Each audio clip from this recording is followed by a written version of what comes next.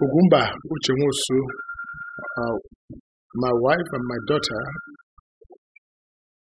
and many other sympathizers were at the outing church service for his late mother that he bu- buried few days ago. When some policemen uh, wearing hood walked into the church while the sermon was going on and started shooting everywhere. And when my wife approached one of them to find out what is the reason, uh, they literally pushed push her down, uh, pushed my daughter down, and went straight for Uche Nwosu and dragged him out, beating him up from the church. Um, took him outside and missed gunshots, parodic conscious. Uh, and uh, uh, at, at, at, initially, we didn't believe that this could be an act of uh, police because um,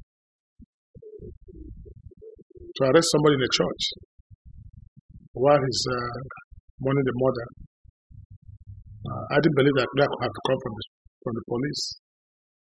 And the manner in which he was arrested and the gunshots, uh, only for us to find out from the plate numbers of the vehicle that they were from government house, Imo State. So our suspicion was confirmed that the Imo State governor has embarked on such an act of hate and misrepresentation and misinformation concerning members of my family. Those who attended Uche Nwosu's burial, who are honorable members of Imo State government, were also suspended for attending his Uche Nwosu's mother's burial. And the same group of men that he used in this doing this dirty job is the same people that came for my arrest. They arrested me sometimes ago, and who, who threatened at that point to kill me. But shockingly enough, I also had, to call the police commissioner of police, uh, who has just recently confirmed to me a few hours ago that the order came from Abuja. So I wondered uh, if this order actually came from the Inspector General of Police. And if it is, I'm sure the Inspector General of Police must have been misinformed. But I'm yet to see what kind of offense Oluche wants to, Oluche wants to have committed to warrant this uh, discretion of the church and sporadic shootings that has uh, left a lot of people injured. Uh, and uh, I,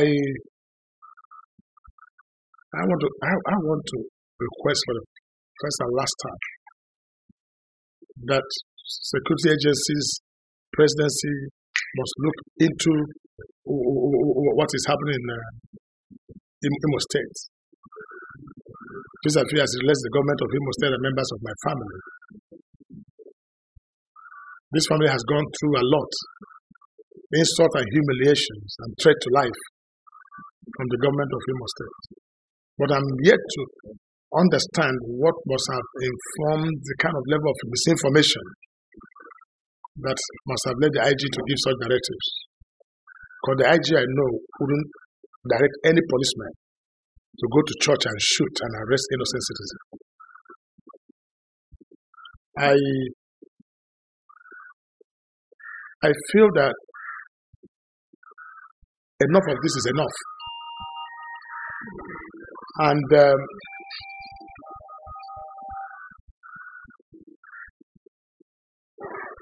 and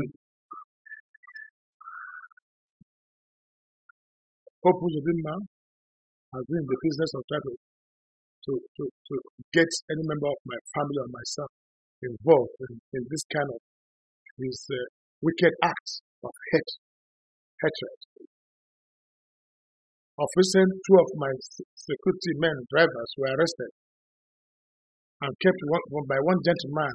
The man uses the State Government House uh, called the SAS, SAS 1 SP, 1 SP somebody. And these two young men had told me horror stories of what they saw 60 days incarceration in the police SAS, and where they brought people every day and shoot them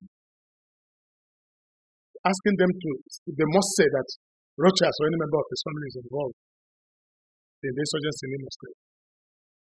I think enough of this. And I've called all people's concern on this matter.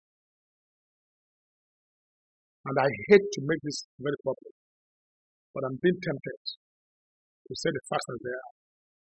If you hear the story of these young men or how people were shot before them, killed, and only for them to tell lies. And only a few days ago, the governor has said he's going to announce by 2nd January those who are behind the insecurity in Imo State. I'm sure this must be one of the states he wants to take. This is him, knowing him, his style of constant lying on daily basis on issues, which has resulted in bad governance in Imo State. But I don't want the police to get involved. I don't want the APC government led by Buhari to get involved in a matter like this that will tarnish the image of the Federal Republic of Nigeria.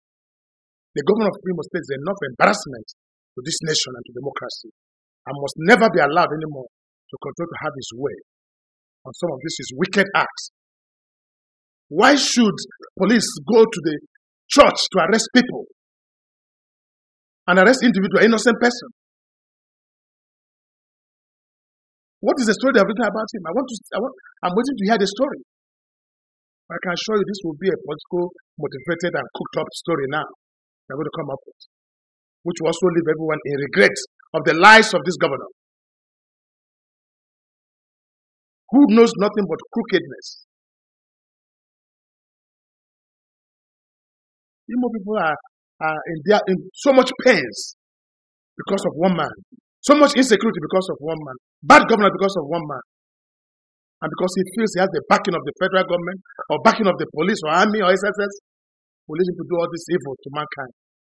I think Hope Government must be called to order. He must stop this. This is one arrest too many has led to me and members of my family.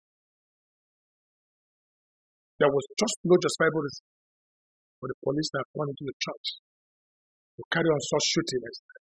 Even the security attached my, my family could not because they identified the policeman. Why go to the church? Why, why is he shooting?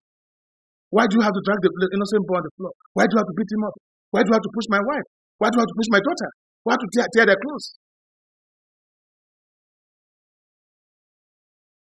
This is not what we asked for. But the good news, anyhow, is that I now know that Uche is in the hands of the police. And, and the police will have to tell the world what Uche has done to deserve this treatment and why the church was put in disarray because of one arrest citizens. I'm waiting to hear what story that the government must have framed against Uche Nwosu. I'm, and I'm still waiting for him to make public. I challenge him to make public on second those who are behind IPOB. Or he should accept responsibility as being the person behind the insecurity in Imo State.